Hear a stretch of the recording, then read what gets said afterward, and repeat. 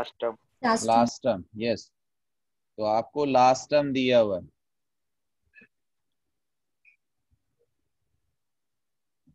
Twenty और S दिया हुआ है। 144 लेकिन यहाँ पे ये भी तो दिया हुआ है दिया टोटल नाइन टर्म्स तो इसमें कुछ बचा बेटे? अगर ये तो सारा ही खत्म हो गया अपने आप में। यस सर अगर आपसे ये कह रहा है लास्ट टर्म है 28 और एस है 144 और टर्म्स है नाइन और आपसे कह रहा है ए निकालो। क्या इन चारों में कोई फॉर्मूला है? यस सर है। तो फिर बेटे क्वेश्चन ही कहाँ था? ये तो क्वेश्चन था ही नहीं कुछ। बेटा आपके पास आ जाएगा S nine actually nine by two first term plus last term first term plus last term तो एस नाइन की वैल्यू रखो। सम कितना दिया हुआ है? Nine by two first term मालूम नहीं है। लास्ट टर्म कितना दिया हुआ है? तो नाइन से अगर आप कैंसिल करोगे शायद सिक्सटीन होता है। सिक्सटीन आ जाएगा ना? और सिक्सटीन टू जा कितना आएगा? Thirty two minus twenty eight आएगा। तो ए की वैल्यू कितनी आएगी? फोर तो इसमें तो डायरेक्ट बेटे वैल्यू आ रही थी इसमें कहाँ कुछ करना था? किसी को कोई और पार्ट पूछना है?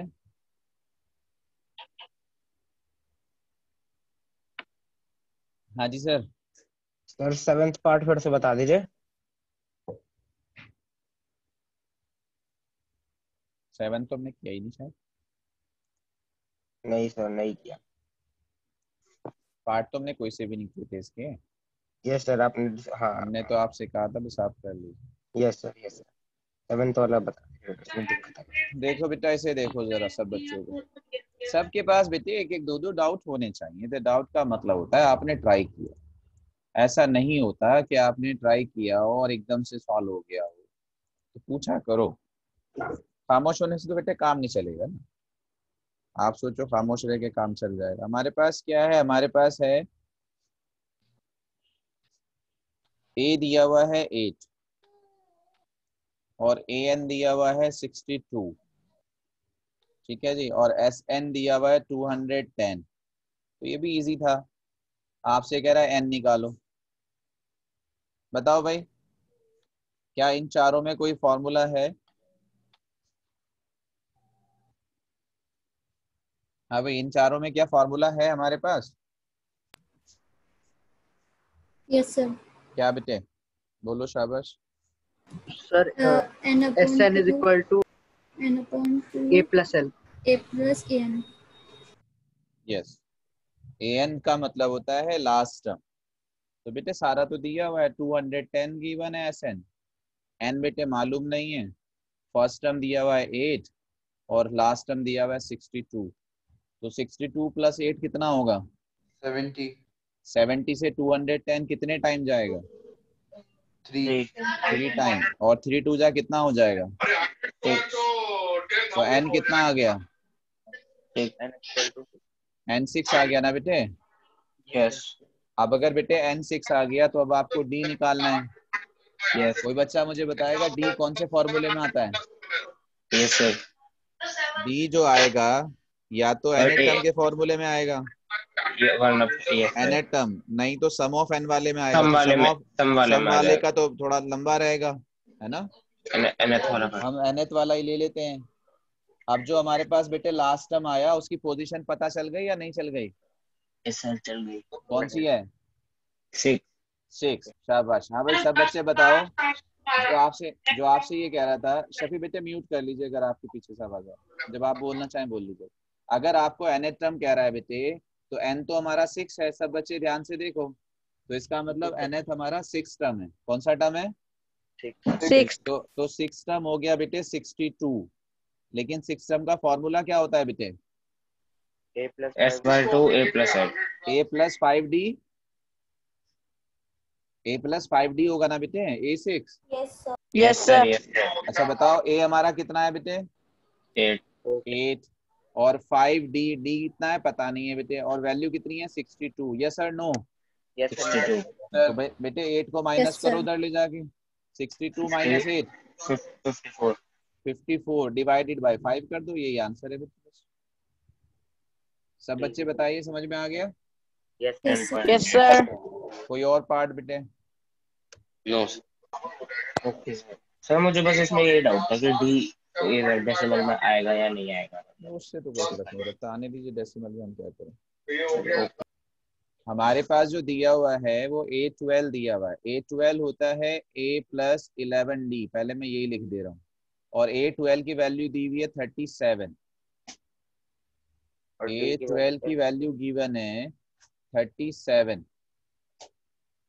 ठीक है? और डी हमें दिया है थ्री तो डी की वैल्यू भी रख दो. A plus eleven into three is equal to thirty seven तो इलेवन थ्री जा. 32 thirty seven minus thirty three कितना होगा.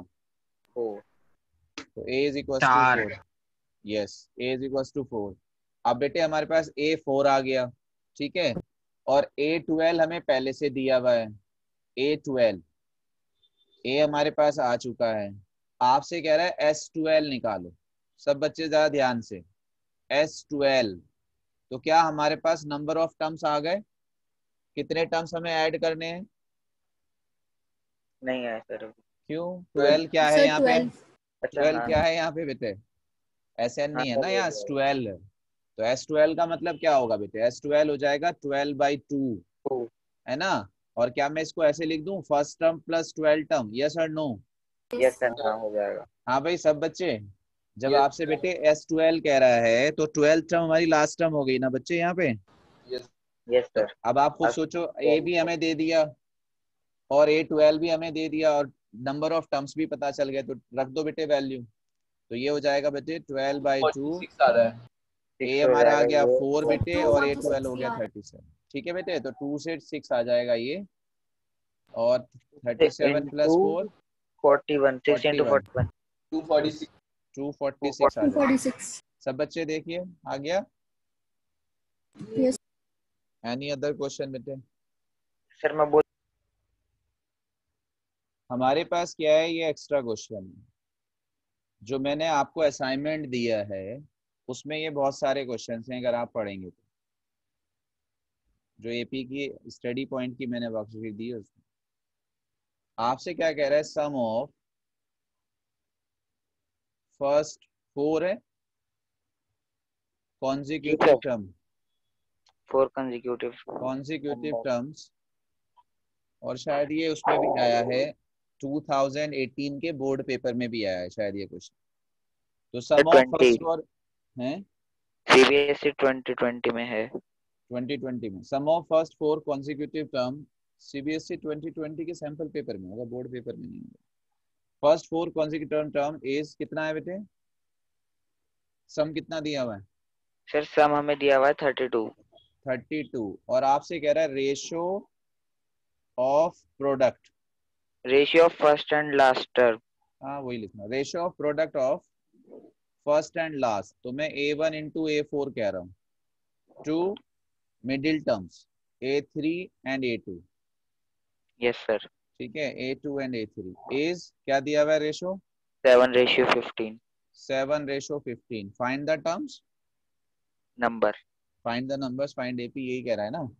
जी सर फाइंड एपी या फाइंड नंबर्स ठीक है ये हमारे पास क्वेश्चन है. Sum of first four consecutive term is 32 ratio product this ये बस तो पहले तो हम बेटे अगर सीधा सीधा सा हम इसको करें तो हम ये मान लेते हैं कि भाई हमारे पास फ़र्स्ट फोर टर्म्स हैं A one A two A three A four सब बच्चे पहले तो ऐसे ही इसको समझ लीजिए रफली कि है क्या क्वेश्चन बाद में इसको अटेम्प्ट करेंगे।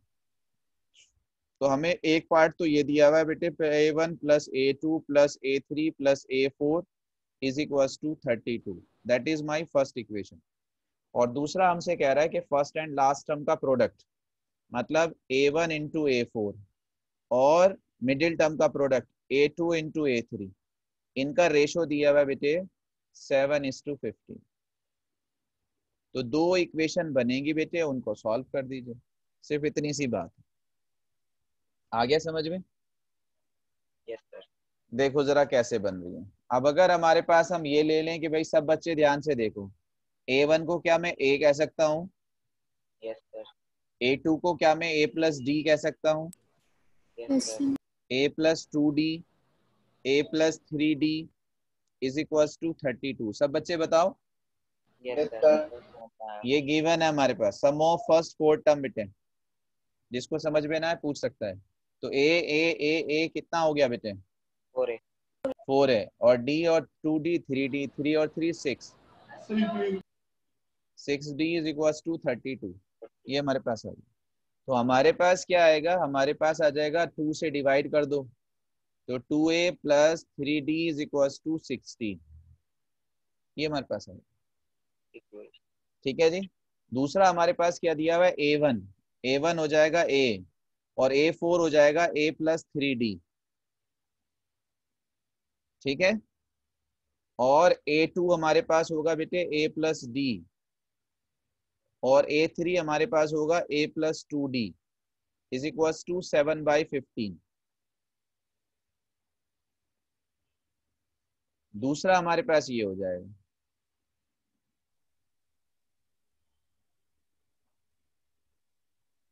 जरा मल्टीप्लाई करो ए इंटू ए क्या होगा? A square plus three A D अब यहाँ प्रॉब्लम आएगी कि हमारे पास इक्वेशन स्क्वायर में आ गई फिर ए डी होगा। यस सर ठीक है जी? ये प्रॉब्लम है। हम्म।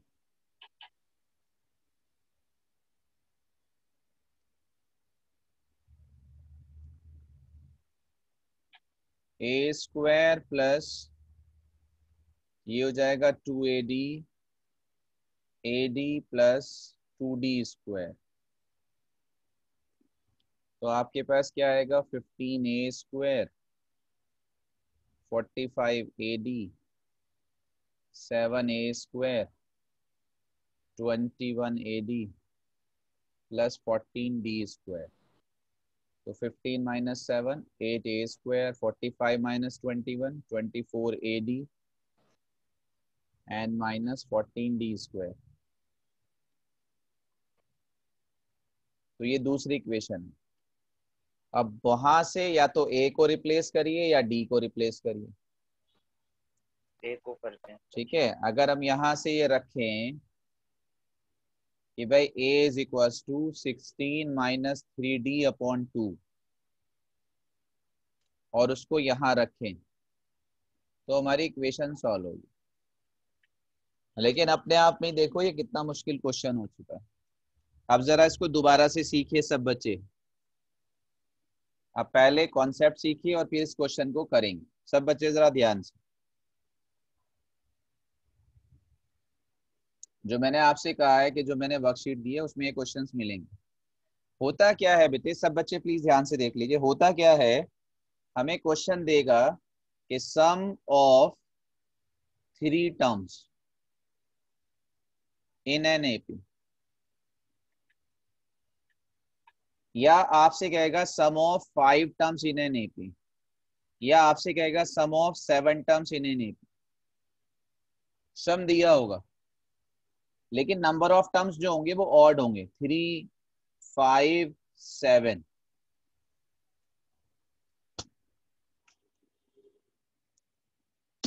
अब आप सब बच्चे प्लीज़ ध्यान से देख लीजिए बेटे। सारे बच्चे प्लीज़ ये वो क्वेश्चंस हैं जो एग्ज़ाम में मिल जाए। तो उन्हीं पे ही बस मतलब सारा खत्म हो जाए चैप्टर के। भाई, एक क्वेश्चन आना था थ्री मार्क्स का, वही ऐसा आ गया, मुझसे हुआ नहीं। जबकि मेरा एपी बहुत अच्छा हुआ हुआ था। तो इस तरह के क्वेश्चन चार पाँच ही होते हैं, ज़्यादा होते नहीं। तो ये आपको आने चाहिए। तो हमें क्या करना है हम एपी में जब टर्म्स लेते हैं तो एपी में टर्म्स की सिर्फ़ एक ही कंडीशन है कि डिफरेंस सेम होना चाहिए। डिफरेंस क्या होना चाहिए? हाँ भाई आवाज़ आ रही है? सेम होना चाहिए सर क्लियर नहीं हो रही सर आपकी। आवाज़ क्लियर क्लियर है।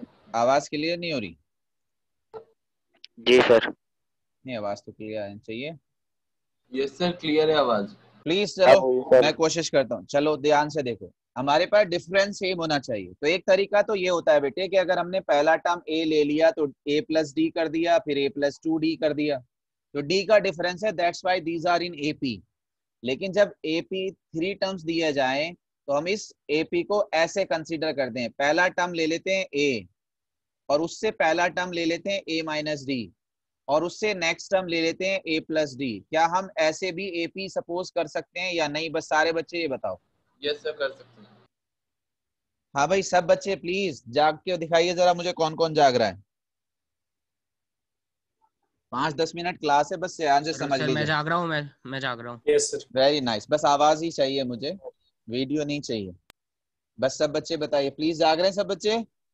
Yes sir yes sir yes sir yes sir आइए शाबाश। तो मैं आपसे कह रहा हूँ अगर आपको सम ऑफ़ थ्री टर्म्स चाहिए वेरी नाइस बेटे। तो आप Yes. करेंगे a a minus d a plus d please ध्यान से देखो अगर मैं आपसे कहूँ कि मुझे सम ट्वेंटी दिया हुआ है तो इसका फ़ायदा क्या होगा? कि भाई इन तीनों का सम मुझे ट्वेंटी दिया हुआ है। तो होगा क्या बेटे? जैसे ही वैल्यू रखोगे वैसे डी कैंसिल हो जाएगा। तो आपके पास क्या आ जाएगा? ए आ जाएगा। एक वेरिएबल की वैल्यू आ जाएगी। समझ में आई बात या नहीं आई? यस सर इसका ये फ़ायदा होता है अगर हम ऐसे कंसीडर करते हैं। यस सर अगर बेटे हमारे पास फाइव टर्म्स हैं तो एक एक टर्म और बढ़ा दीजिए। मतलब आप इससे पहले एक और टर्म ले लीजिए और इससे बाद में एक और टर्म ले लीजिए। वेरी गुड वेरी गुड अब आप समझ गए मेरा कॉन्सेप्ट बिल्कुल शाबाश। अब आप इसका मतलब कॉन्सेप्ट समझ गए। ए माइनस टू डी और ए प्लस टू डी अगर आपको सेवन चाहिए तो एक एक टर्म और बढ़ा दीजिए। तो अगर नंबर ऑफ़ टर्म्स ऑड हैं तो हमें ऐसे कंसीडर करना है। और बेटे, अगर नंबर ऑफ़ टर्म्स इवन हैं, सब बच्चे ध्यान से देख लीजिए। जो हमारा क्वेश्चन है सम ऑफ़ फोर टर्म्स ठीक है? Sum of six terms sum of eight terms अगर हमें ये एपी दिया हुआ है तो ध्यान से देखो, सब बच्चे हमें करना क्या है? हम अपनी टर्म्स लेंगे ए माइनस डी और हम अपनी टर्म लेंगे ए प्लस डी मुझे बस इतना बताओ पहले तो इन दोनों टर्म्स में कितना डिफरेंस है? अगर एक टर्म मेरा ए माइनस डी है और एक टर्म मेरा ए प्लस डी है तो इनमें डी का कितना डिफरेंस है? टू का। टू डी का डिफरेंस है। अगर बेटे ए प्लस डी में से ए माइनस डी माइनस करोगे तो d plus d two d आएगा। तो ध्यान बस ये रखना है कि टू डी का गैप लेना है। तो इसका मतलब नेक्स्ट वाली टर्म जो लेनी है वो ए प्लस थ्री डी लेनी है। और इससे प्रीवियस एक जो टर्म लेनी है वो ए माइनस थ्री डी लेनी है। यहाँ ध्यान रखना ए हमारा फ़र्स्ट टर्म नहीं है और डी हमारा कॉमन डिफरेंस नहीं है। बस टर्म्स लिए हैं हमने। तो अगर मैं वैसे कहूँ कि फ़र्स्ट टर्म क्या है कि सर फ़र्स्ट टर्म ये है। सेकंड टर्म क्या है सेकंड टर्म ये है। थर्ड टर्म क्या है थर्ड टर्म ये है। फोर्थ टर्म क्या है फोर्थ टर्म ये है। और डिफरेंस टू डी का है। बट हमारा इससे क्वेश्चन बहुत इजीली सॉल्व हो जाएगा। अभी हम दिखाएँगे भी आपको करके। तो ये हमारे पास आ गया। अगर अब आपको सिक्स टर्म लेने तो सिक्स टर्म कैसे लोगे बताओगा कोई? A plus d a minus d a plus इससे- फाइव डी ए ये- माइनस फाइव यस शाबाश। ए माइनस फाइव डी आ जाएगा। और इधर एक और आ जाएगा ए प्लस फाइव डी सबको समझ में आ गया? यस सर अब जरा वापस आओ क्वेश्चन पे। हमसे क्या कह रहा था बेटे?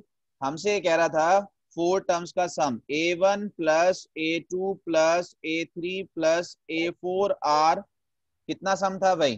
थर्टी टू टू और हमने क्या सपोज़ करा? Let terms are four terms are in AP a minus 2d, a minus d, a plus d, a plus 2d. Given first part, their sum.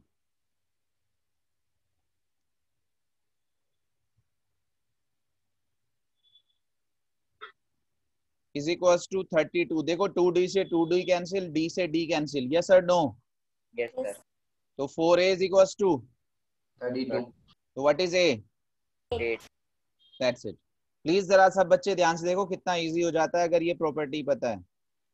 Last term और first term a minus two d note a yes a minus two d and a plus two d a a minus three d होगा ना ये? गलत लिया हमने। क्या होगा ये?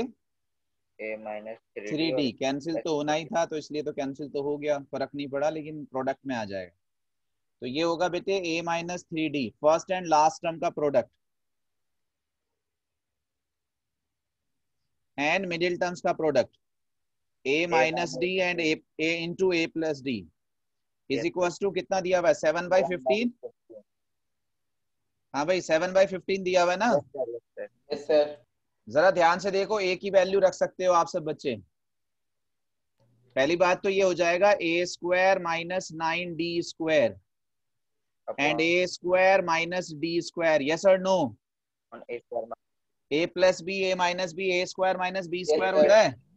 Yes. ए की वैल्यू कितनी है बेटे? यस सर यस ए की वैल्यू कितनी है?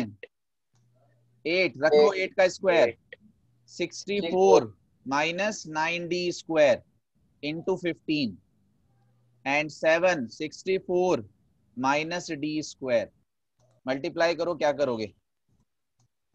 फिफ्टीन इंटू सिक्सटी फोर क्या होगा भाई? सिक्सटी नाइन्टी सिक्स और फिफ्टीन नाइन जा कितना होता है भाई?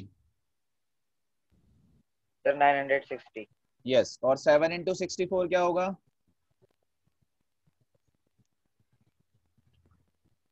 Seven into four four eight. ठीक है जी। जरा nine sixty sir. Minus four four eight करो। Ten eight two. Five.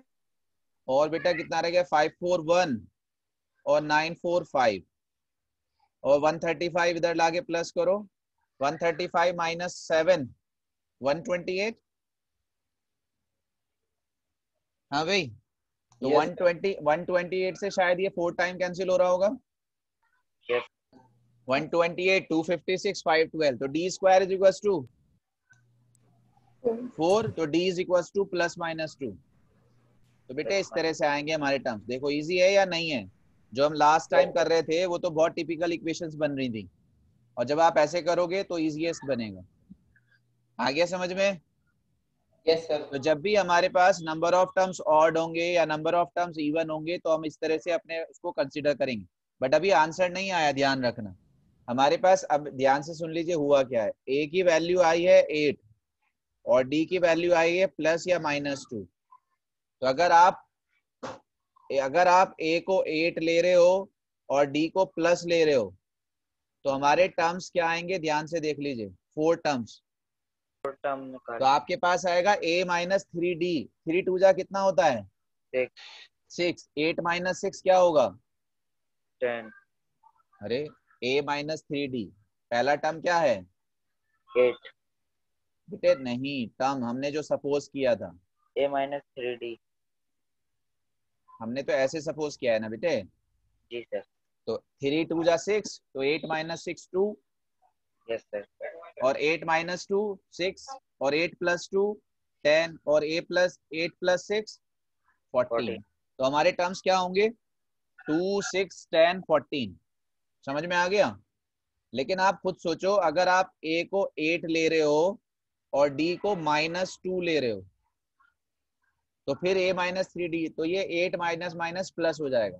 तो सिर्फ़ रिवर्स ऑर्डर होगा और कुछ नहीं होनेगा फोर्टीन टेन सिक्स टू तो नंबर्स तो यही हैं सिर्फ़ रिवर्स ऑर्डर है। टू सिक्स टेन फोर्टीन लिखो या फोर्टीन टेन सिक्स टू लिखो ये हमारे आंसर है।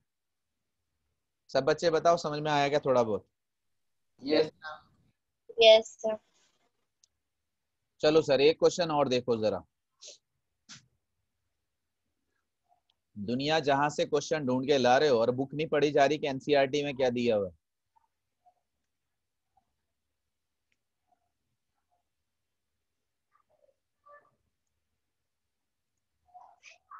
ये आपकी एनसीईआरटी का ऑप्शनल का फ़र्स्ट क्वेश्चन है।